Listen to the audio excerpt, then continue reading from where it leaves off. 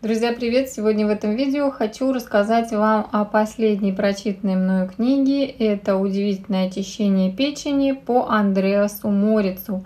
Что я поняла из этой книги, если вкратце? Я поняла, что Андреас Мориц, автор книги и автор очищения, методики очищения печени – по этому самому Морицу, был достаточно болезненным ребенком, и в самом даже раннем детстве у него уже появились камни в печени, либо в желчном пузыре, что, конечно же, сказывалось на его здоровье отрицательным образом.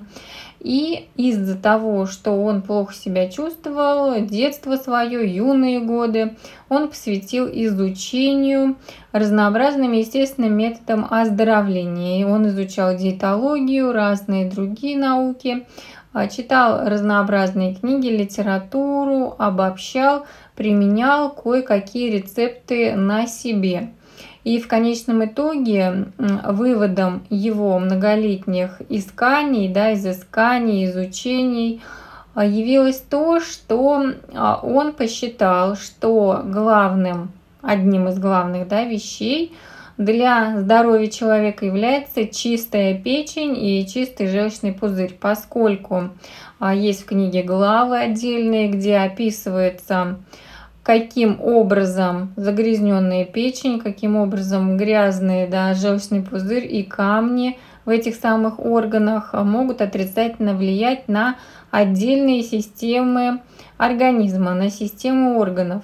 А, например, есть главы, которые посвящены тому, а, как заболевания органов дыхания могут быть связаны с камнями в печени и желчном пузыре, как могут заболевания сердца, казалось бы, где сердце и где печень, но все связано, как заболевания сердца могут являться следствием загрязненной печени и желчного пузыря, и как разные люди, и как сам Андреас Морец в результате многократных очищений печени и желчного пузыря от камней – избавился не только от различных симптомов, э, связанных именно с правым подреберьем, с правым боком, но и от заболеваний совершенно других органов и вернул свое ну, здоровье достаточно хорошее, достаточно крепкое. Если посмотреть на фотографии Андреаса Морица, а я специально не поленилась и поискала в интернете много разных фотографий его, и посмотреть в его глаза, то становится понятно, ну, по крайней мере, у меня меня складывается такое ощущение, что этот человек не был заинтересован в каких-то коммерческих выгодах, а все, что он делал, было, наверное, все-таки направлено исключительно на несение блага и другим людям. То есть та информация, которую он для себя уяснил, которую он узнал, он хотел ею просто поделиться с разными другими людьми, чтобы они могли ею воспользоваться во благо своего здоровья. Андреас Морец, вернув свое здоровье. Он, кстати, говорит не только об очищении печени необходимом, но и о смене питания. Он пропагандировал более вегетарианское питание. Он говорил о том, что нужно сырые кушать продукты да, в большом количестве, и что человеку требуется небольшое количество пищи для того, чтобы поддерживать свою жизнедеятельность. И все, что сверх меры съедено, идет во вред. В общем-то, тоже не лишенная смысла теория. Но как бы то ни было, а, те труды, которые Андреас Морец оставил, используются людьми во всем мире, ну там, где его книга была переведена по сей день, и огромное количество людей использовали его методику очищения печени и желчного пузыря и успешным образом вывели у себя неимоверное количество камней как зеленых желчных, так и известковых, урадных, то есть совсем твердых, вот таких вот, которые просто молотком даже не разбить. Об этом а, писали отзывы и в интернете, и в его книгах есть упоминания.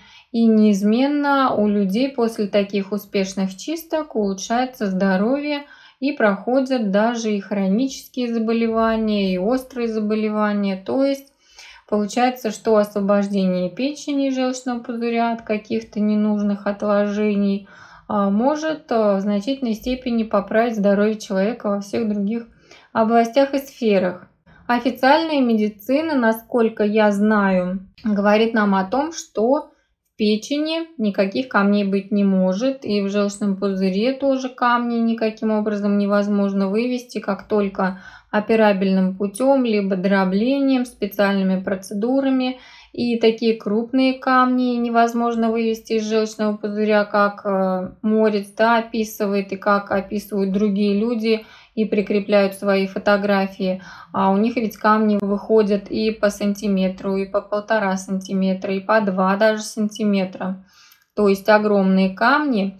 И врачи нам традиционной медицины тоже объясняют, и это не лишено смысла, они говорят о том, что проток, который идет из желчного пузыря к 12-перстной кишке, он совсем тонкий, то есть он где-то 3-4 миллиметра шириной. И невозможно через этот узенький совсем проток пропустить камень больше шириной, чем этот сам проток. То есть уже 5 миллиметров камень уже не должен пройти, уж не говоря там 6-8 сантиметров, полтора сантиметра и 2 сантиметра, как описано да, в этих результатах очищения.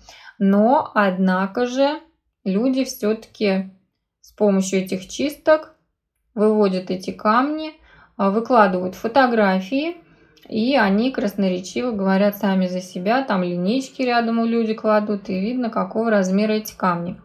Если речь идет о зеленых камнях, то здесь а, врачи объясняют таким образом, что смешивая с желчью и лимонным соком оливковое масло, ну или другое растительное масло, может желчь жидкую, которая вылилась в 12-перстную кишку, превратить в эти самые вот сгустки, то есть камушки. И то, что человек видит на выходе, да, в своем туалете, они плавают, всплывают на поверхность воды, эти зеленые камни, и принимает их за те камни, которые у него якобы находились в печени, в желчном пузыре. То есть врачи говорят, что это не совсем так, что это все-таки камни не из печени желчного, а это те камни, которые образовались уже в кишечнике, то есть под воздействием, под реакцией вот этих вот всех компонентов чистки. Здесь я тоже могу понять, хотя хотелось бы проверить. Взять желчь из аптеки, взять лимонный сок и масло, может быть, я еще проведу этот эксперимент и выясню, могут ли эти все компоненты а, образовать действительно камни вот эти желчные. Друзья, и в связи с этими всеми вот интересными моментами, не совсем ясными, мне, конечно, хотелось бы узнать, если у вас опыт среди моих там зрителей, подписчиков, чистки печени, потому что друзья мои, знакомые мои чистили печень, точно так же у них выходили камни, как описано в книгах. Я сама чистила печень, у меня вот эта вот смесь масла с лимонным соком мне идет вниз в кишечник, она у меня вот стоит в желудке, чем бы я ни заедала и не занюхивала, через час-два и через несколько часов у меня все равно начинается тошнота и рвота, и меня рвет чистой э, желтой желчью каждый раз. Каждый раз после этого у меня очень сильно заметные такие ощущения облегчения в правом подреберье, легкость появляется, просто ощущения приятные, несмотря на то, что никаких камней не выходит, выходит только куча желчи, знаете, наверное, вот кружка большая этой желчи у меня откуда-то выходит, я не знаю. А, и сразу вот правый бок прямо, знаете, по-другому ощущается совсем. Если до этого было все нормально, то после этого, ну, просто легкость такая, прямо хоть пляши. Вот очень удивительно действует эта чистка печени. Но у меня всегда выходит вот все через рот рвотой, обжигает пищевод, рот. В общем, не из приятных для меня процедур, скажу сразу. У Андреса Морица в книге описано много разных случаев, отрицательных или там средних каких-то результатов, в том числе и когда человек тошнит рвет. Он говорит, что и это тоже нормально, видимо, там слишком сильный застой желчи. И поэтому как бы вот все таким вот образом. Но если рвет, то это тоже, значит, чистка получилась. Очистки существуют разные. По Малахову, по Буревой печени, я имею в виду, по другим авторам, по Морицу в данном случае. Я проводил разные в своей жизни, да, у меня тоже выходили эти зеленые камни, бывало, удачные результаты, но, наверное, раз на какой-нибудь четвертый, пятый, после вот того, как четыре предыдущих чистки заканчивались вот этой вот рвотой желчью. Потом все-таки как бы что-то происходит, и чистка выдает эти самые камни. Но именно только зеленые у меня всегда были. но все-таки были. Вот таким вот образом. Мне, конечно, интересно, как у вас это все происходило, есть ли у вас положительный опыт таких чисток. У моих друзей и знакомых есть опыт чисток, у них тоже выходили камни разнообразные. Если на УЗИ были камни, либо если на УЗИ не было камней показано, то есть все равно они выходят. И вот э, думайте сами, решайте сами, да, как интерпретировать вот эти вот результаты чисток. Все практически получают облегчение после этих чисток. Может быть, это плацебо, какое-то самоубеждение после прочитанных, да, вот этих вот книг и убеждение автора о том, что это благотворно очень влияет на организм. Но я на себе могу точно сказать, что нет, потому что мне настолько плохо после этих вот эм, рвотных да, процедур, что э, мне кажется, что вот я должна бы уже ослабеть и упасть, морально очень плохо. Но, как ни странно, на следующий день просто прекрасное состояние, самочувствие, очень-очень большая легкость. А, в любом случае процедура на меня это влияет хорошо. О самой процедуре, как ее проводить, как Андреас Морит советовал ее проводить, как описано это в книге, я расскажу в следующем своем видео, чтобы это видео не было ну уж слишком чересчур длинным.